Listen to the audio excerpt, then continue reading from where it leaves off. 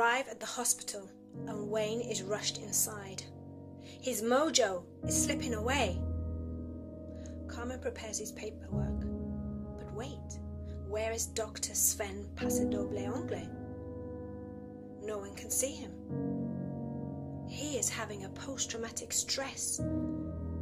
21 years ago, when he was a young doctor in Liverpool, his wife died whilst giving birth to their son.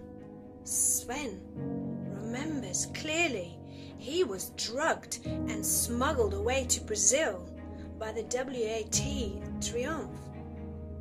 He is in such shock. He starts to cry. I cannot cope with this. I cannot go into the operating theatre and perform this operation. I only think about my son. The boy is 21 today. The young Wayne. Carmen rushes back into the operating theatre.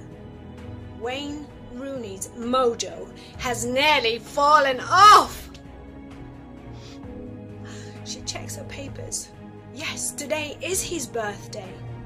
Wayne Rooney must be Dr. Sven Paso Doble's long lost son.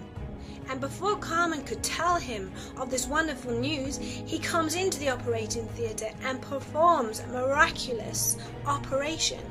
But before the very final stage of this operation, Conan steps in with a box DVD yoga set and bashes him on the head and renders him unconscious on the floor.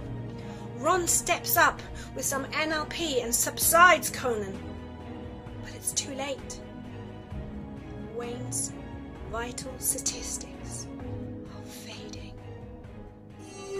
Sangre de mis venas fluye como lava por nuestro amor.